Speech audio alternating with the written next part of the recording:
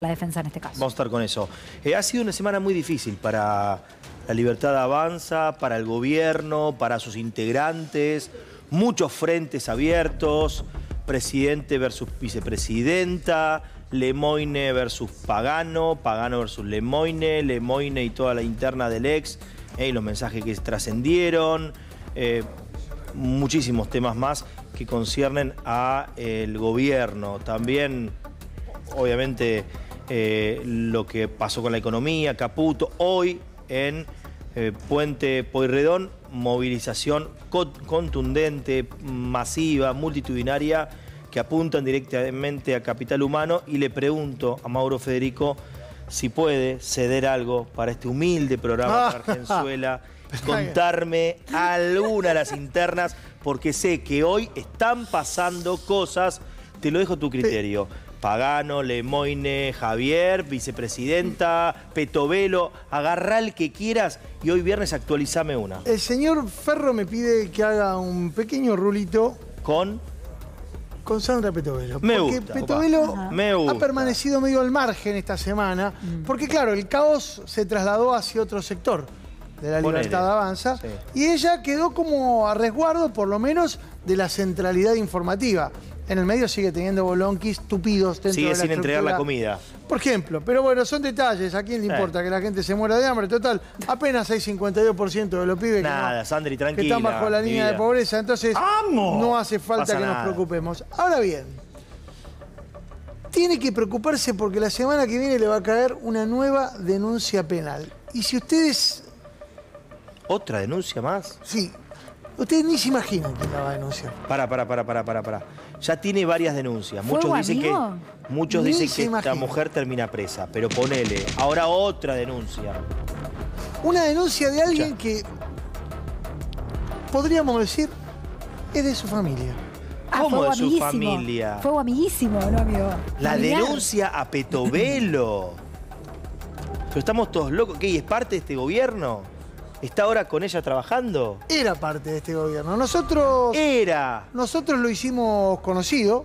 Ah, En realidad tiene un apellido muy ilustre. No, para, para, para, que me estoy acordando. Y cuando lo hicimos conocido, automáticamente fue el primero Le al que soltaron la mano. le soltó la mano. Sí. Y como, y como Jack eh, se hundió Sí. en las profundas aguas del Mar del Norte. Jack.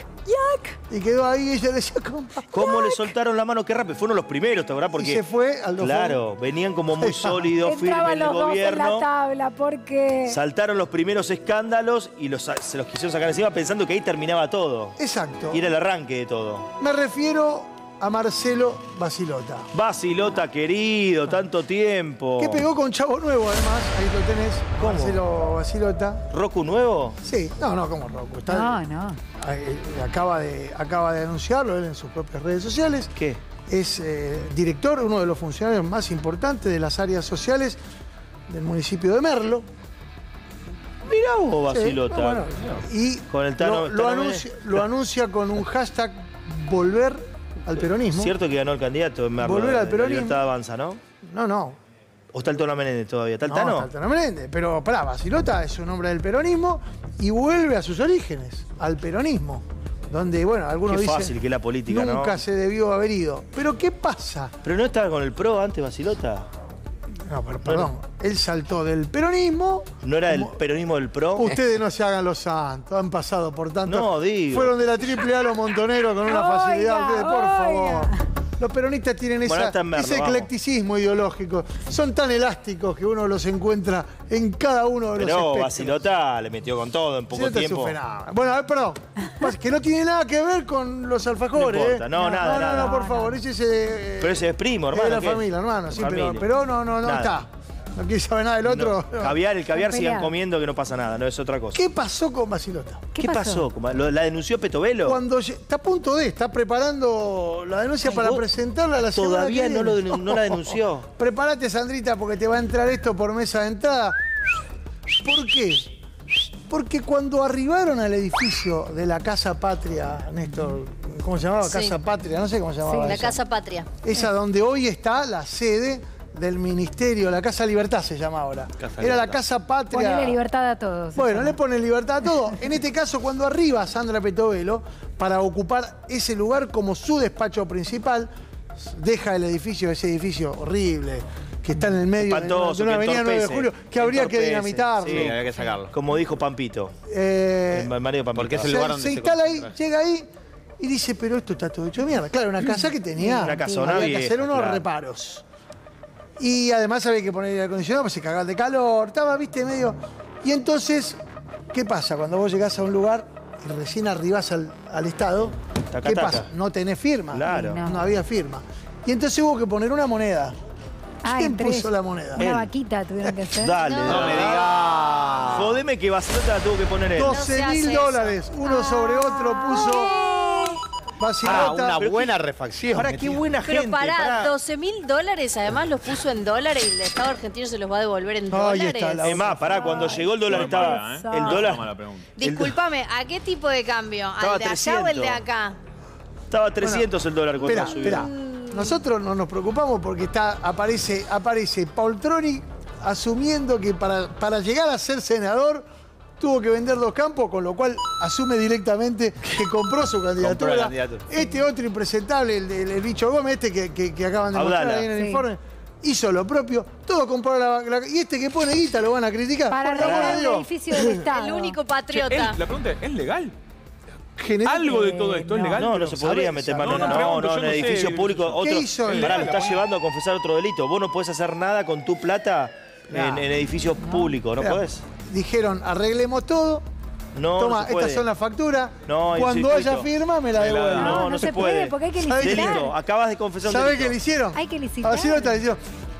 Andá a reclamar. Toma, Y no se la va a cobrar más. Anotala en el agua. le No la cobra, porque vos ven- vengan que los voy a atender de a uno, dijo Tenés que abrir un, ¿Te acordás cuando salió tenés con que vengan, abrir de a un uno lo voy a expediente. atender? Tenés que abrir un expediente. Le y dijo, dicen, no Basilota, podés. tenés hambre, anotate en la licita lista. todo. 20 cuadras de cola. No, no, Se se licita. licita. Hay que poner Pero acondicionado, esta gente, esta Pero gente no tenía experiencia política. Y qué sé yo, aparentemente No, no. y Basilota no. sí. Basilota venía, sí, Por viene eso te General estoy Rodríguez. diciendo. venía de la gestión en general. Por Rodríguez. eso te estoy diciendo. Hay, hay una. Hoy hablaba con un amigo. Me, hay una. Un proceso que le sucede raro. Pintura, me dice. dicen, equipamiento de cocina, aire acondicionado, luces, tableros eléctricos, obras de todo tipo. Y pero no Por te- eso, pero lo que te estoy No diciendo. le pagaron a ningún proveedor. Es La tuve que poner yo porque la jeta la había puesto yo, los tipos me vinieron a buscar a mí. Es espectacular. Un hombre de palabra. Claro. Igual perden. Pero lo que Miren lo bueno es, que era. ¿Cómo alguien que un tiene. tipo honesto, le está- Hombre de palabra, No le caigan un hombre honesto. Pero pará, ¿cómo alguien que tiene experiencia política hace estas cosas? La verdad Entran que a la sí. libertad avanza y se les borra la experiencia política. ¿Qué les pasa? ¿Ah? Es Igual es buenísimo porque Basilota puso plata a él y los que laburaban con él, los asesores, fueron a Donoren porque tampoco salía la firma para sus contratos. O sea, Ahora, gente, pará, es una ONG hermosa, pará, y muy nos bien. enteramos de esto porque Basilota se pelea con Petovelo, porque si no, hacen tremendo negocio y no sabemos y no nos enteramos. Sí, no es gracioso, ¿eh? Poner plata, ¿con qué Si proveedores? quieren lloramos, yo no tengo problema. Puedo derramar una lágrima si quieren. No, no, ¿Por quién? esa Por la. Chicos, denuncia desde social. 1810 que ningún funcionario pone un sope por el Estado. Y este patriota, este Es un prohombre de la patriota, eso es democracia, cierto. San Martín, 12.000 dólares. Belgrano, Basilota. papá. Puso su plata y su